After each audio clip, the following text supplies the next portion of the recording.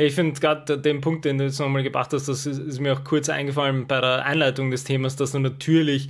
Unternehmenskultur, das wir auch schon ein paar Mal angesprochen haben, sind natürlich auch massiv, äh, spielt da massiv rein, weil wir haben ja immer gesagt, ja, das, das, das Allerschönste wäre, wenn es quasi in der Teamkultur und Unternehmenskultur schon drin ist, dass alle mal ein Tagebuch schreiben und quasi dann reflektieren können über ihre Arbeitsprozesse und man nicht äh, vielleicht dieses Tagebuch äh, schreiben ersetzt durch wöchentliche Meetings, wo halt einfach nur Arbeits-To-Dos irgendwie aufgezählt werden. Äh, das führt dann quasi zwar zu viel Interaktion, aber halt nicht zu, äh, zu Qualität, äh, Qualitätskommunikation, sondern dann werden halt einfach, wird äh, Zeit weggenommen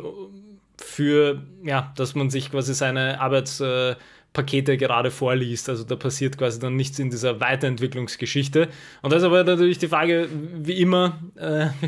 wie, wie, wie baut man das so richtig auf, dass es auf die Stufe kommt. Ja, weil, um vielleicht nochmal den anderen Punkt, den du gemeint hast, aufzugreifen, diese, also Unternehmenskultur geht ja auch eben Hand in Hand mit so ein bisschen dem Führungsverständnis und auch diesen, diesen Needs, die halt die unterschiedlichen Mitarbeitenden haben. Und das finde ich tatsächlich gar nicht so einfach zu, zu formulieren oder zu definieren, was es alles gibt, dass man da irgendwie beachten muss, weil ja, du musst erstmal die einzelnen Personen kennenlernen,